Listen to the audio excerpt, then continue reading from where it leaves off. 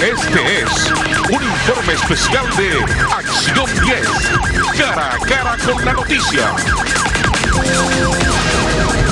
Bueno, tenemos información de último momento, un informe especial con Ronald Rodríguez Solís desde el sector de las esquinas. Ahora ha sido llamado también cuatro esquinas, esto en el sector cercano a Ginotepe, ahí en Carazo también, en todo el crucero se han registrado disturbios y Ronald Rodríguez Solís tiene un reporte de incendios que han sido provocados presuntamente hasta el momento ahí en el sector de la delegación policial de esta zona. Adelante, Ronald Rodríguez Solís, te escuchamos con tu reporte.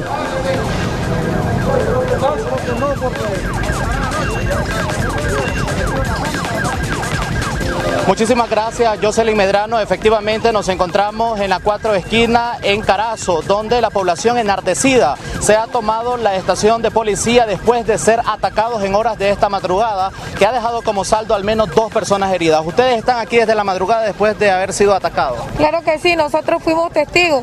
Vinieron las turbas sandinistas con antimotines, una camioneta de antimotines y atacaron a los chavalos. Lo peor del caso fue que ni siquiera atacaron el tranque, se tomaron el tranque y invadieron hasta cierto punto la comunidad y allí fue donde dieron a los chavalos. Aquí no vienen a respetar nada, vienen a tirar a matar y ahí está la prueba, miren, ahí está la prueba. Esta es parte del amor que le tiene Daniel Ortega hacia el pueblo de Nicaragua. Creo yo que con morteros ya no. Al que hierro mata, a hierro muere. Que se vaya, que se vaya. Queremos es que Daniel Ortega se vaya. Moriremos, moriremos. Vivirán, defenderán la nuestra patria. el pueblo unido. Que se vaya, jamás será vencido. Como medida de presión ustedes se tomaron unas instalaciones y también emprendieron fuego. Sí, después porque los policías que estaban allí agredieron a los chavalos. El jefe de sector de aquí que se llama Marlon, él siguió a uno de los muchachos y como el chaval se le escapó, él le tiró a matar, le tiró a matar, gracias a Dios que el chaval se fue, ellos uh, uh, cobardemente huyeron. Y por eso nosotros decidimos tomarlos la policía como la única medida de seguridad donde se pueden replegar los muchachos porque aquí estamos desarmados. Si ustedes pueden ver, aquí nadie tiene armas, lo único que tenemos son algunos morteros, son los que hay. Y esa es la defensa de nosotros. Y ellos andan armados con AK y ahí están las pruebas. Correcto, después que estas personas los atacaron a ustedes, eh, ellos levantaron las barricadas y ustedes nuevamente la volvieron a, hacer Ellos vinieron, las turbas vinieron a quitar todo, dieron pase, pero al ver la gente que nosotros fuimos atacados, que los chavalos fueron atacados, que dos fueron baleados, dos chavalos fueron baleados, a una parte se los llevaron a la policía de San Marcos y los, golpearon, gracias a Dios ellos se lograron escapar. Pero gracias, al ver la gente esto, la misma gente del pueblo viene a apoyar y ahí está la prueba porque ahora esta barricada va más grande y ahora vamos hasta las últimas consecuencias. Prácticamente se mira bastantes mujeres están apoyando aquí a los muchachos, la mayoría son mujeres, ¿verdad? Claro que sí, pero sin embargo ellos no ven eso, aquí no andan viendo si son mujeres, si son niños, si son ancianos, ellos no andan viendo nada porque ellos vienen a disparar a matar, pero aquí vamos a estar nosotros. Correcto, ustedes también van a estar apoyando. También, también. Todo momento, vamos a apoyar aquí. Aquí no vamos a dejar morir estos chavalos aquí. Que esto se acabe. Sí, vamos a estar con todo este hijo de puta, si no lo volvamos verga, hijo de puta. Hasta que esta verga se acabe. se, aquí vamos hasta que se vaya Daniel Ortega. Ahorita tenemos información, tenemos información de la misma gente que viene de Managua, que en el crucero hay dos buses con antimotines y como 10 Hilux con personas armadas. Y aquí los vamos a esperar. Vamos a ver qué clase de amor, qué clase de solidaridad, qué clase de diálogo. Este es el único arma con lo que se defienden los chavalos. Ellos vienen armados con diferentes tipos de armas y ellos vienen decididos a matar. En el crucero ahorita se van a supuestamente se van a desplegar y aquí están los chavalos que van a luchar hasta las últimas consecuencias. Verga, sí, eso. Que vamos sobre ellos.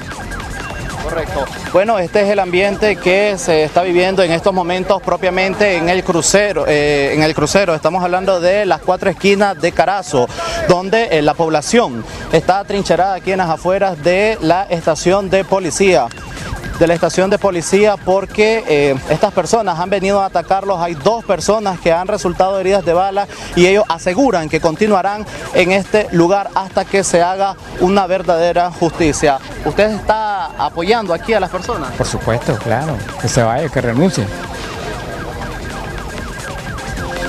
Siempre van a estar aquí ustedes. vamos a apoyarlo, a donde sea posible, los muchachos, hombre, es necesario. Una lucha es igual, pero primero Dios, salgamos adelante, vamos a salir adelante. Gracias. Correcto, bueno, estas declaraciones, eh, no, hasta el momento eh, no se ha reportado ninguna persona fallecida aquí en las cuatro esquinas de Carazo, pero sí se reportan dos personas heridas de balas. Esto es lo que las personas quieren evitar, que más personas... Eh, fallecidas. Ellos no quieren ya personas fallecidas porque eh, demasiado los han estado viniendo a atacar durante esta madrugada, es lo que decían las personas. Ahí podemos observar en imágenes de eh, los inmuebles que prácticamente habían en el interior de la estación de policía que prácticamente ya han sido quemados por la población que están enardecidos tras los ataques que han recibido en horas de esta madrugada y como le habíamos, le habíamos dicho ha dejado como saldo dos personas gravemente heridas de bala. Que tenemos en información de último minuto desde aquí de las cuatro esquinas de Carazo. Nosotros retornamos a estudio, vamos a estar pendientes aquí ante cualquier información. Adelante muchachos. Gracias Ronald Rodríguez. Solís por tu reporte y en redes sociales se han compartido centenares de imágenes de lo que está ocurriendo en estos sectores, tal es el caso del crucero, también de Carazo, de Ginotepe, nos están reportando vía mensaje de texto, también incidencia en el hospital ahí en Ginotepe